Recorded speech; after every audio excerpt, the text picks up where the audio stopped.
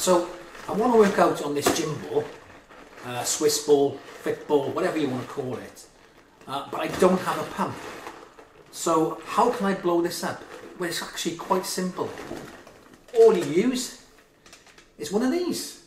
Now, when you, when you do blow it up with this, just make sure there's a button here which gives you a cold setting. So you've got to keep your finger depressed on that.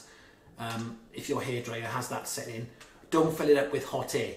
If you fill it up with the hot air, two things can happen. One, you could burn out the elements in your hairdryer, and two, if you fill your your gym ball with hot air, what'll happen is when the air cools, it actually um, contracts, so your ball will be all loose and floppy.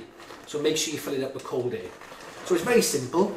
You just got to try and you get get the hole, okay, and you've got to try and make a seal between your hairdryer and uh, you've got to make a seal between your hairdryer and the hole. That's pretty much it. It's a little bit fiddly at first, but as the ball in, um, inflates, it gets much easier to create that seal.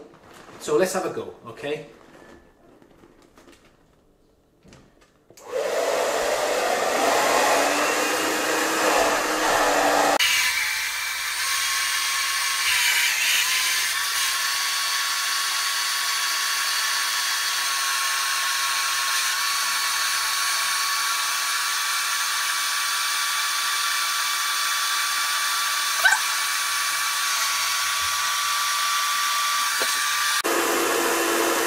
As you can see now, it's much easier to create that seal. Just keep it tight on there, make sure you've got the cold on.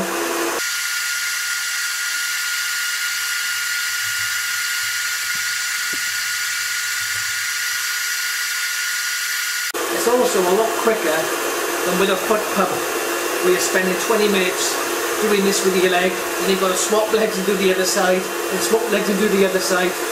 Uh, this is much easier, just holding on I much prefer to do it this way. I just hope I don't break my white hairdryer.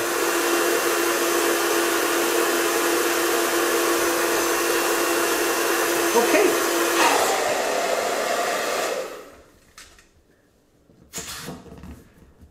And there you are.